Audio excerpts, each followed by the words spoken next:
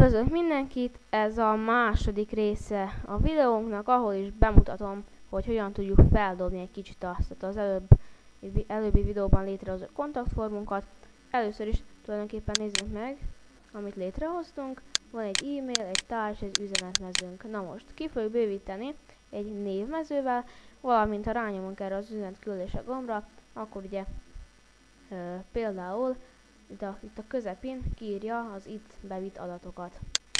Na, először is meg az index.html-t, meg a küldés.php-t, és fogjuk szépen, és um, tulajdonképpen egy ilyen névmezőt írjunk be, tehát ugye név, input type, text, a név pedig, hát legyen a név. Így. Ez megvan, gyorsan el is mentem. Küldés.php-nél ugye kibővítjük ezeket a változókat, tehát egy új változót hozunk létre, ugye például legyen az, legyen az új neve például mondjuk dollár név egy, egyenlő dollár post név. Így, majd lezárjuk szépen, és ellátogatunk ide amikor ugye lezártuk a PHP-t, tehát ezutánra. Na most például kiírjuk azt, hogy ugye hol jelenjen meg, ugye ez az egész, hát úgyhogy ezt úgy meg beírjuk, hogy p-align, mondjuk olyan center, de beírhatjuk tulajdonképpen azt is, hogy bal vagy jobb, ugye left-right, de mi most center, tehát most a közepén fogjuk megjeleníteni, majd írjuk például azt, hogy név, vagy hát neved, kettős pont, és akkor létrehozunk ugyanúgy egy PHP dokumentumot, tehát farkasszág el PHP echo. Na most ugye beírjuk ennek a névnek, a, ennek a változónak a nevét, ami a dollár név 1, amit ugye létrehoztunk. Majd szokás szerint bezárjuk. Na. Igen, majd egy sort, és sose felejtsük el, mert össze fog folyódni. Mondjuk olyan az, hogy e-mailed,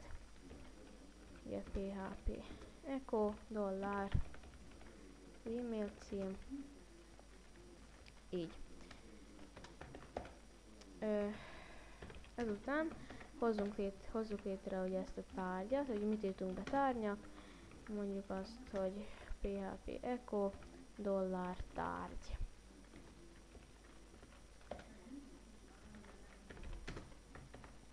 Majd ugye az üzenetet ami üzeneted, kettős pont. És akkor ez legyen ugye a dollár üzenet. Ez is szépen lezárjuk. Na, tulajdonképpen készen is vagyunk, ennyi lenne az egész. Ezt elmentsük, fogjuk szépen, és feltöltjük a tárhelyünkre. Először az index.html-t, majd a küldés.php-t,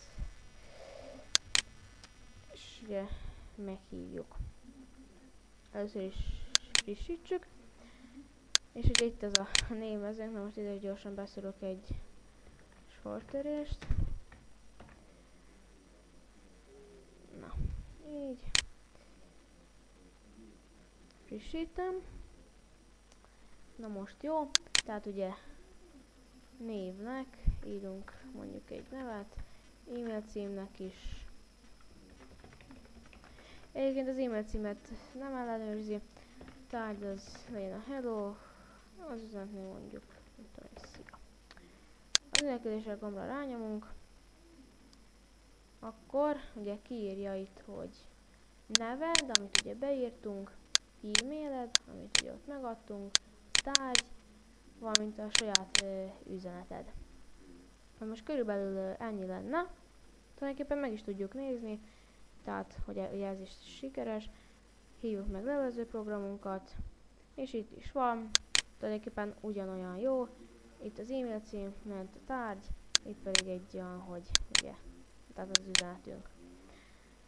Hát tulajdonképpen ennyi lenne, természetesen ezt még nagyon sok mindennek ki lehetne bővíteni, tehát ha például rossz e-mail címet írunk be, akkor mondjuk kírja, hogy helytelen e-mail, címet írtál be, de ez már egy kicsit ugye nehezebb dolog.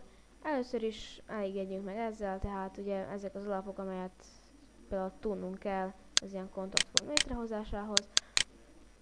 Úgyhogy tulajdonképpen ennyi az egész. Közi szépen!